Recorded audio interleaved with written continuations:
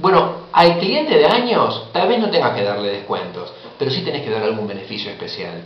Tiene, se merece algún privilegio respecto a un cliente nuevo o al que no ha confiado en vos, pero el que te viene dando de comer desde hace años, ¿cómo no vas a darle algo especial? Para eso las empresas tienen sus programas de fidelidad donde se beneficia aquel que hizo muchas millas con una línea aérea, por ejemplo. Entonces, no pienses en descuento necesariamente, pero ¿qué mejora? ¿Qué cosa buena? ¿Qué cosa especial? ¿Qué, qué tipo de evento? ¿Qué regalo? ¿Qué beneficio? ¿Qué atención personalizada? ¿Qué reconocimiento podés darle a esos clientes porque se lo merecen. Lo esperan porque se lo merecen y son extremadamente valiosos para tu empresa. Es, hiper valioso, mucho más que 10 clientes nuevos. Así que, ¿cómo se lo vas a reconocer?